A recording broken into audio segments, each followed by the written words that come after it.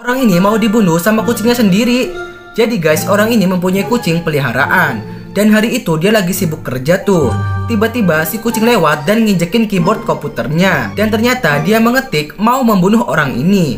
Dan ketika orang ini mau mengambil koran, ternyata kucing sudah ada di depannya tuh dengan tatapan yang menyeramkan. Orang ini jadi panik dan pas lihat kotak makan kucing ternyata itu kosong guys. Pantas saja dari tadi kucing itu selalu gangguin orang ini.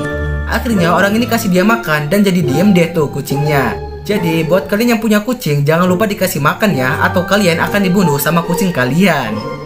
Ada dua anak yang pengen bikin rumah tuh. Sebelum bikin rumah, mereka pun melihat petunjuknya dulu kan. Anak gendut ini ngerti cara bikin rumah yang bener tuh. Tapi si anak kurus malah gak peduli sama petunjuknya guys. Dan ketika mereka sampai di lokasi, si anak gendut pun langsung bikin rumahnya di atas batu kayak gitu. Dengan susah payah, akhirnya rumahnya sudah jadi tuh. Si kurus pun akhirnya baru mulai bikin rumah nih.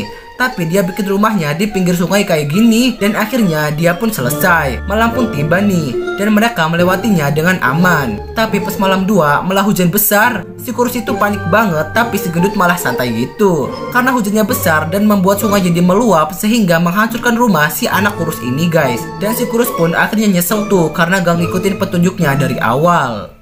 Jadi ceritanya ada dua bocil yang lagi main di taman nih.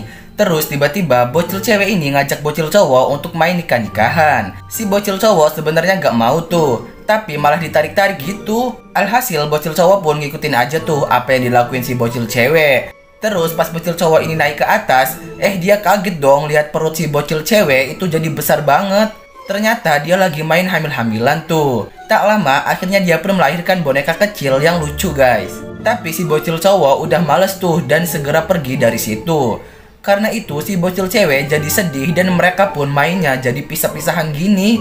Si bocil cowok yang melihatnya pun merasa kasihan. Jadi akhirnya dia samperin lagi si bocil cewek dan bermain bersama kembali.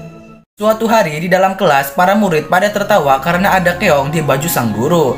Setelah itu, mereka semua keluar dan mau menyelamatkan keong tersebut. Tapi pas nyampe di laut, tiba-tiba mereka kaget karena di situ ada paus yang terdampar.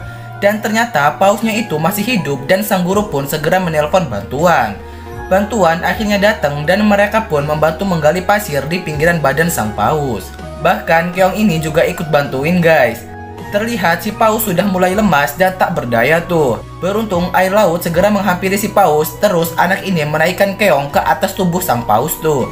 Kemudian para orang-orang akhirnya mendorong si paus agar bisa segera ke laut. Dan akhirnya paus itu berhasil diselamatkan bersama dengan si keong. Ada seekor laba-laba yang melihat kupu-kupu guys. Ia melihat kupu-kupu dengan sayap yang indah. Si laba-laba jadi pengen punya sayap dan akhirnya dia pun bikin sayap sendiri dengan dedaunan guys. Kemudian dia pun mencoba untuk terbang nih, tapi dia malah jatuh guys. Sayap yang dia bikin jadi rusak dan dia pun menangis tuh. Terus tiba-tiba datanglah kupu-kupu jantan dan ternyata sayapnya itu sobek guys. Karena si laba-laba ini pintar menjahit, jadi dia bantu si kupu-kupu tuh. Dan sayap si kupu-kupu pun sudah benar kembali. Akhirnya si kupu-kupu ngajak terbang laba-laba kayak gini. Setelah itu mereka berdua saling jatuh cinta dan bersama. Tiba saatnya ketika mereka mempunyai telur dan telur itu akhirnya menetas guys. Dan ternyata anaknya itu seekor laba-laba tapi memiliki sayap cantik kayak gini. Dia juga bisa terbang dan mereka pun hidup bahagia.